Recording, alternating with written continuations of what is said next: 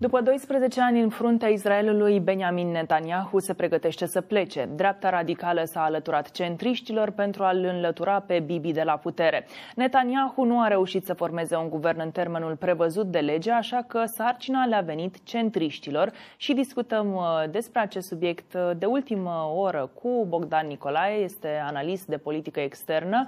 Bună seara, Bogdan! Bună, vorbim, Irina, bună, Dan! Vorbim despre uh, Benjamin Netanyahu, care a stat cel mai mult în această poziție din toată istoria, 12 ani. Mulți au spus că ar fi vorba de o trădare la mijloc. Să fie asta?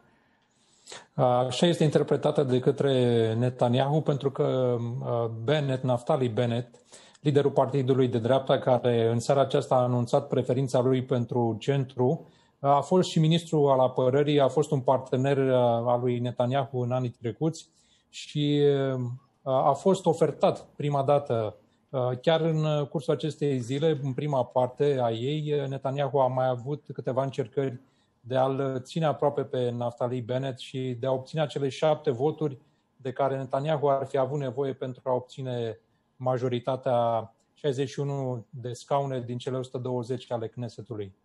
Aș mai fi vrut să te întreb, cum crezi că va fi uh, viitorul lui uh, Netanyahu fără acest scaun? Este vizat de foarte multe anchete de corupție, n-a fost chiar uh, foarte, n-a avut o parte de o perioadă prea liniștită și mulți au spus că inclusiv tensiunile dintre fâșia Gaza și Israel au fost menținute în atenția publicului, tocmai pentru a se muta puțin atenția de la problemele politice din țară.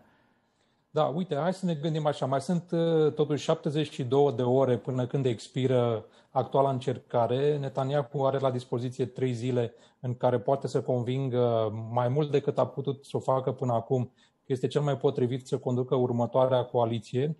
Uh, în același timp, uh, are o înțelegere pe care trebuie să o ducă la bun sfârșit cu Egiptul în ceea ce privește pacea pe care amândoi, Egiptul, Israelul, au reușit să o impună cu sprijinul Statelor Unite în privința provinciei Fâșiei uh, Gaza. Astăzi de dimineață uh, a avut uh, o întâlnire cu Abbas Kamel, care este șeful Serviciului de Informații din Egipt, principalul serviciu de informații al Egiptului, tocmai pentru punerea în aplicare acestui armistițiu. În același timp, ministrul de externe Gabi Ashkenazi din Israel a plecat la Cairo într-o misiune în oglindă cu ceea ce se întâmplă la Ierusalim. Deci singurul partener autentic cu care și Egiptul dorește să rezolve problema de securitate din zonă este în momentul de față Netanyahu și guvernul pe care îl conduce. Dincolo de aceste probleme regionale și de politică externă, într-adevăr, sunt chestiuni interne, dar care își urmează cursul indiferent uh, de ceea ce se întâmplă în momentul de față. Mulțumim, Bogdan, pentru toate explicațiile și poate fi urmărit uh, acest subiect uh, și pe site-ul nostru, pe alefnews.ro. Este unul dintre subiectele orei, pentru că au apărut acum uh, primele declarații, Netanyahu le-a făcut, vedem cum se va concentra puterea acolo